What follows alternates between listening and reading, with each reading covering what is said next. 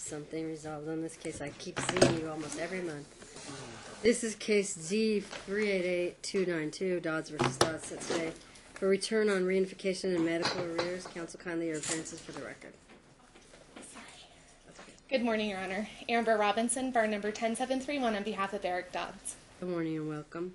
Judge Frank Tony Barnard, five zero four, here with the mom. Good morning and welcome. Okay, I note that um, Mr. Toti filed a motion very recently on um, mom's behalf to modify child support. There was no OST, so it's not on my calendar today. I did read it in case you guys want to stipulate. If you don't, I guess what I'm looking at is, do you have agreements on what we are offsetting, if anything, against the health insurance and unreimbursed meds and the child support amounts that were filed? And um, I want to put mom on a work search if she's not working full time at her skill level. Judge, if I, I just filed it, I don't know if, if Amber is ready to respond to all of that, but it's, uh, it, it's not necessary to go over all that today. I mean, Amber and I have been attempting to resolve it, and there's a good possibility that we will prior to the time of the hearing, but I don't know about the reduction in child support, but um, on that note, though, and I just found out from my client, he is already scheduled to be on vacation August 1st. If we could maybe bump that hearing a week, if you don't mind. Yeah, we could, well, we could move it depending on, don't look for a date yet. We can move that depending on what is going to happen in this case. I don't want to have Old Home Week with you guys every month. I need to know what's going on. Is the reunification happening? It is, Judge, Yes. it's going forward. The only issue that, that's occurring, and, and, I don't even know where, I, I think the most recent order of the court is from two thousand twelve regarding visitation and holiday schedule and things of that nature. My client just informed me that, uh, the plaintiff is taking the kids on a vacation for three weeks to Minnesota, and then he's going out of town for another week in August. The visitation schedule provides one week of vacation time a year per party. Now, of course, my client's visitation is modified at this point due to the reunification and things of that nature. but I don't know how and why plaintiff suddenly believes he can take a month of vacation during the summer. There's no agreement regarding that. Well, I mean, my client doesn't want to disappoint the children and not let them go on a vacation if they're looking forward to it. She's not 100% sure they actually want to go. But regardless, I don't want to put my client in the position of saying, no, you can't go. But at the very least, we need to work out some type of Even with Um, regular visitation. that we you- need to work out some type of uh, makeup time with regard to the therapeutic setting. I mean, the therapeutic setting is working, things are going well, but now to take off for three weeks, I'm not sure where everything will be in. How is that possible that you can take that kind of time off from your work? Three It, whole it's weeks? two weeks, Your Honor. So Oh. not, not Yeah. a month. You mean Well, three total weeks? It's three total weeks then. Oh, So well, two he's, he said three weeks and then another additional Got week, it. Your Honor. I was adding those together. It's okay. It's two weeks in Minnesota, which actually is less than what we've done the past three years that she's been aware of every year, and she's never had an issue with it before. And then one week when. In San Diego, later on, in that's when we'll be gone in, in August. So are you? Judge, it's, it's in defiance of the court order. Actually, I'm not saying we have a problem with it. What I'm saying is, if it's going to happen, first of all, plaintiff shouldn't just say, this is what I'm doing. It should be a question, can I do this? But number two, it should be, okay, what are we going to do as a result? How are we going to Make up the time. make up the time? Well, right now it's only like Frank said before. It's been no visitation to mom, and now we're in therapeutic setting. So of course my client would work around the therapeutic setting. And Well- this was booked a long time ago when she was okay with it all these other years, and all of a sudden That's really now not she's not. point. Okay, but really not what is she going to be missing, and how can we make that time? up? As long as I'm getting information from counsel, or I'm hearing from counsel that we're going to schedule makeup time, my client has no problem with it. Who's doing it? Is it Marcia Lee? It is right. Yes. Yes. And is And- it go- how's it going? I need to hear from everyone about how it's going. Well, it, it's going well with Nixon, Your Honor. The first couple sessions were hard. My client was dragging him there, but they, it seems to be going well. 150% support from my client. Um, so Ni- Nixon is going well. The problem we are having, though, is with Ethan. you go ever? Yes, Your Honor, he did. My, my client wants to suspend visitation and wants to get into therapy with Marcia and Jen because what we have is a parent over here that is supporting the reunification of Nixon and Jen, and we have Jen now seeing Ethan and talking to him on the phone, and we put them on notice in my letter to Frank several months ago. Eric put Jen on notice again that if you're going to be calling the kids, all phone calls will be recorded. So we have recorded phone calls, and Ethan also has a blog, and he will post some of this stuff on his blog. But mom calls dad's household a correctional facility, that dad is a narcissist. This was one of Ethan's blog posts he posted about. My mom says my dad is a narcissist. My mom has given me tools in how to cope with my dad. We have Jen telling Ethan, go through and delete all of our correspondence. Just last night, she was telling him, get out of the house. I will call you an Uber and um, you can come over to my home. We have mom and grandma telling Ethan on the on the phone, just tell your dad we got back hours earlier from California that we were home by nine. So we have mom and grandma encouraging Ethan to lie. We have Jen asking Ethan to record phone calls, or not phone calls, record conversations in the house. So anytime that Ethan comes back after a visitation with Jen, we have major attitude problems. He's just defiant against the whole family, that he once had a good relationship with everybody, all of his siblings, excellent relationship with Eric's wife.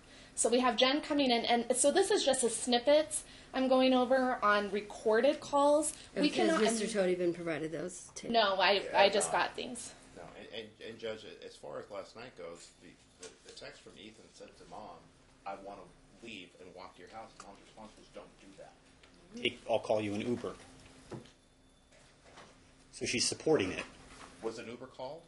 Well, I'm not going Oh, to suspend his geez. visitation. I'm going to talk about what's appropriate and inappropriate and allow you to keep recording these because, Mom, you need to understand what is appropriate and what's not. If they have proof that you are saying any of these things, correctional facility, narcissist, those are all going to be in violation of the behavior order. If you're telling him to delete correspondence, that's in violation of the behavior order. You cannot destroy any electronic evidence under the behavior order unless we have an old one, and if we do, I'll change that immediately. Did I not change that when I saw you guys right after I got it done? Hold on. I don't think you did. I've been trying to change it every case because the new one does not allow that. If we don't have the new one, just pull out the new one and we'll get a new one. So what everybody, sorry, what everybody has wanted though in this case, Frank, the court, everybody, we, well, let's get Jen back in regular communication and regular Mom's gonna have visitation. encouragement of lying, you know, or, or telling the children to, or one of them to record conversations in the home. If there's proof of that, Mom, then that would mean you are being very inappropriate as a parent, and your time will be limited. Do you understand what I'm saying? Yes, Your Honor. So I don't know what's going on and what's true and what's not true, but I trust that Amber has listened to these. I have not listened. He has them all recorded. I, I will listen to them and I'll provide them to Frank. And Your Uh, Honor, 'cause they're Marcia has listened to. Marcia has listened to a few of them. I provided them to Marcia. She knew in one of the meetings when Jen looked at me and said, "I never called your house a correctional facility." Marcia said after that, "The good job not derailing the meeting and, and making the positive comments with Nixon." But she said, "I have an email proof that she knew Jen was lying in the meeting about calling the house a correctional facility." Mom, you've got to work with the therapist about what's appropriate, what's inappropriate. These things, that's a good way of handling it, of giving the tapes to the therapist and having the therapist address it. I'm not going to limit mom's time. I am going to ask the therapist to weigh in and help mom understand what's appropriate, what's not appropriate. Mom, you probably need a parenting class. Has she ever taken the any of the free parenting classes? She has, Judge. Yeah. I'm I'm not aware of her taking. What did you any- take, mom? I took the mandatory, uh, Not No. cope. Not Not cope. talking no, not about cope. that. I took a parenting class when this all, s- well, a year after this began. Uh, Judge, I, I could be wrong. I thought I remember seeing an ABCs of parenting. Well, right now we're into the teen years.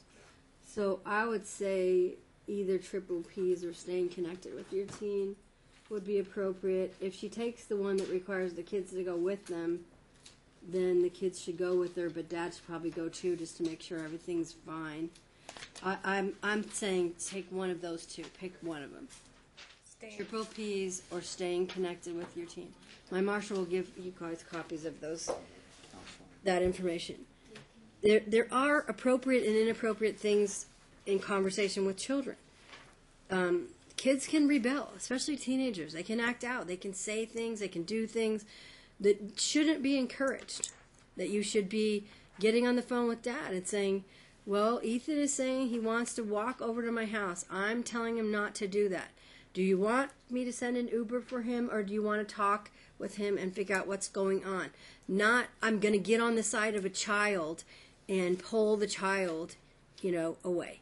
You've got to have some wherewithal and understand some things about parenting and co-parenting to be able to do that. And it seems like there's I mean, you can't say these negative things. Even the old behavior order would prevent calling dad's house a correctional facility or calling him a narcissist. Telling him to delete correspondence, if that happened, that's very inappropriate. It, it needs to stop. And So, and, and, and mom is telling me that she denies all these so we'll have to li- wait and listen to the video, but I think, or the audio. But, Amber, you will provide that to Mr. Toti. Yes.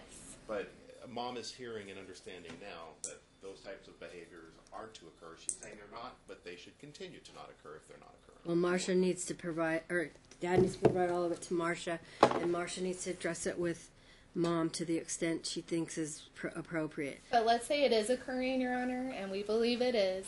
How does mom, as an adult, not know that that is inappropriate? What, like, why is she hearing that from you that this is inappropriate? How does she not know, as a mother raising children, that that is complete inappropriate Who behavior? also almost has a master's in therapy. And all I would state is, is that if, if the therapist wants to address that with mom, she can. Well, I'm asking Mom to take a parenting class more for the teen level, and asking She'll have Marcia to Lee to, to, to work with the parties relative to um, Mom's interaction with kids. If it's inappropriate, she needs to tell her immediately what's inappropriate. Dad can keep recording. Mom, you must know that he's recording. And if you don't, you know, he's, he's had an order where he can at any time. And I'm really worried if there's going to be statements, you know, outside of a recording. So just please get some education around what's appropriate, what's inappropriate. Kids are not just little adults, okay? They are children with different developmental levels, and they can't have you, you know, supporting any kind of, neg- you know, negative behavior that they're trying to take or encouraging the lit- recording conversation seems like it's in preparation for litigation, and that's not okay to have kids involved with that. And there's a local rule that disallows that. So, I mean, I know you'll talk to her, Frank. I know you'll listen to these, and you will let her know if she's doing any of that. Her time's going to be limited. If Marcia can't help you therapeutically, your time may be supervised. More. All right. So, do you want another date? Your, Your why don't Honor. we just use the, uh, Amber said that because Dad's gonna be out of town, we need to move that date that's set. But if you, if we wanna just use that as a status check as well as the motion, we can. But what's happening with the arrears? I've seen you at least three or four times on these arrears. So I, I have a total amount. Frank called me with some payments that Jen has made, and um, one of them being she claims she paid Doc, Nick Ponzo in full for something. Um, so I have the total amount of arrears. I am my client is willing to whatever payment she has made through the child support office to credit those. We don't have those numbers, but I have the total amounts. But you're going to get an audit from the DA for any credits. Right, because I, I didn't get anything from them other than just verbiage that this is this is what she has paid.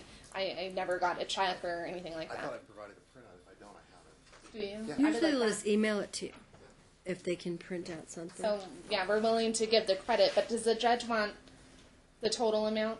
yeah. The As total I- minus what any credit. So if you get the DA's audit and you you agree, why don't you just do a consent judgment and not bring that back to me? And that's fine. I, I would like that. And that's fine. I reran the numbers today. I filed the full schedule of arrears in March, but I reran with April and May numbers. Also, given credit to the fact that Eric has a new baby, so health insurance has gone down on mom's end. Okay. So the total amount for health insurance through May 1st, 2017 is $5,871.32. If you want to see that. That's more than you thought it was before. It used to be five thousand two nineteen. If you have interest included, I'm going to waive interest. You're going to waive interest? Yeah. Okay, There's so then that definitely is a not the, hard- that's not the hardship. correct number, Your Honor. So get me a number without interest. Without interest is five thousand five hundred seventy-one forty-five cents. Okay. Back pay on. So that's included in all of Okay, your. that's, And then for child support, do you want interest and penalties on that? No. Ten thousand five hundred thirty dollars fifty-one cents. Okay. And that covers the period from September 15 through uh, what, May? May 1, 2017. Okay.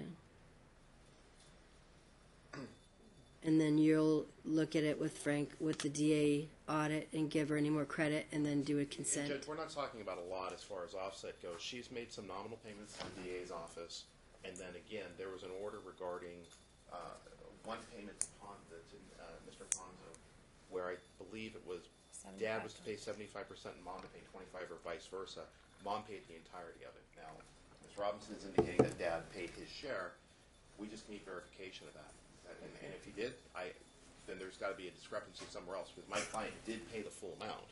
So Okay, but I'm not reducing anything to no, not today. No, not today. I mean, that's not the issue. The only issue is going to be if, if plaintiff is arguing that there shouldn't be a reduction in child support, uh, that's going to be what our argument is. I'd like to move it up to July if we can find a date in July f- for that August 1 motion date. Or Has anybody gone in July? No. Okay. that last Friday in July. Or no, actually, it's Saturday, Saturday. never mind.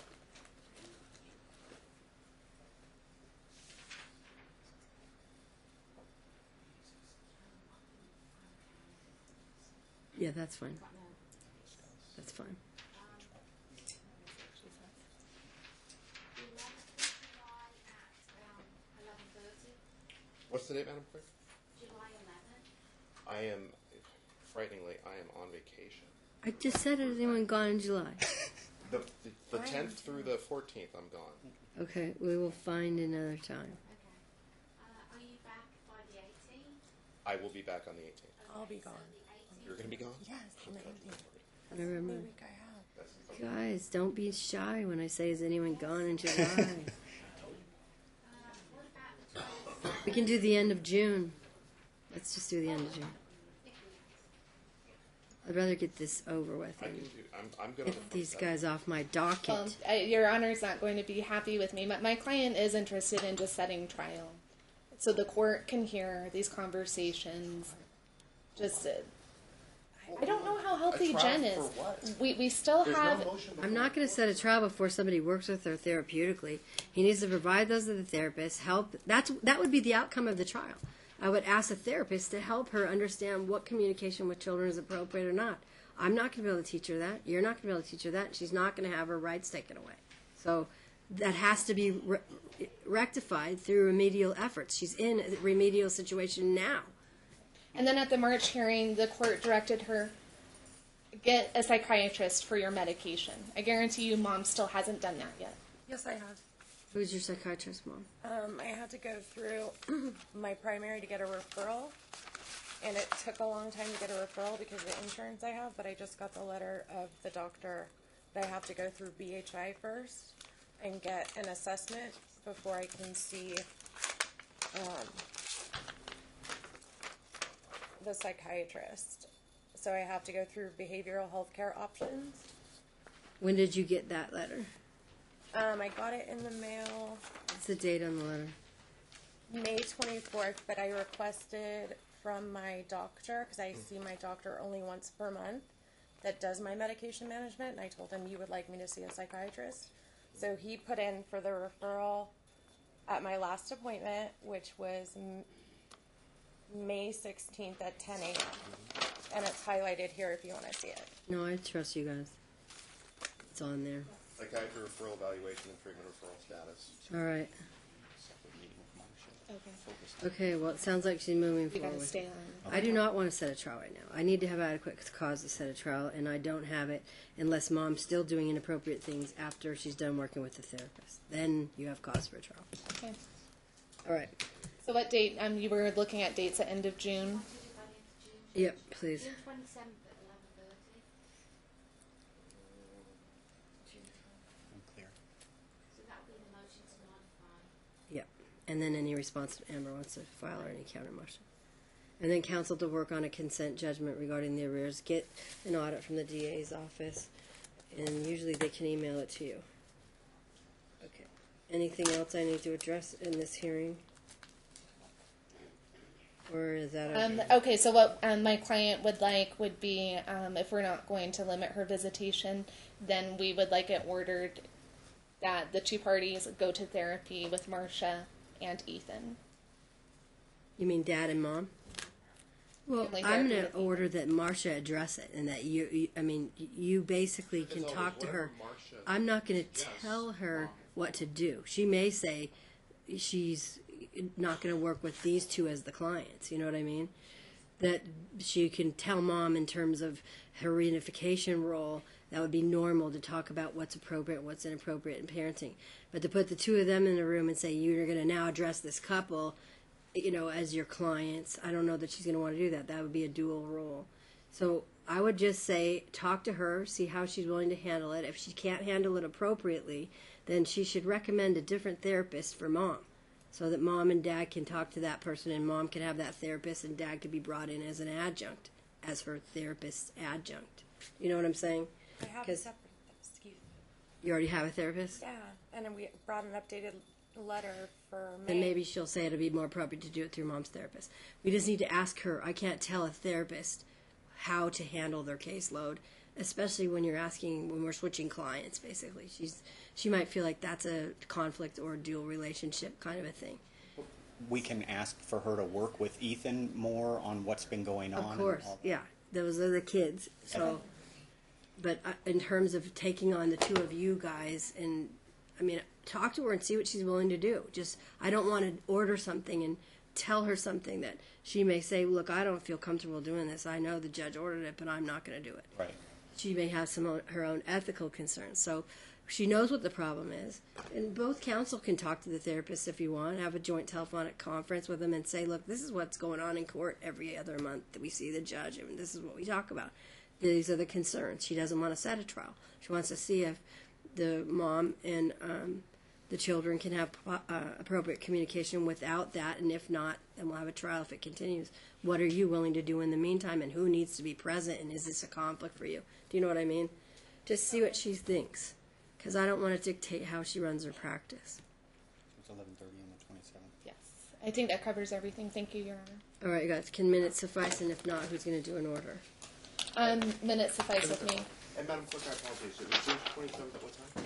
Eleven thirty. Eleven, eleven thirty? Okay, thank you. All right, you guys, have a good afternoon. You too.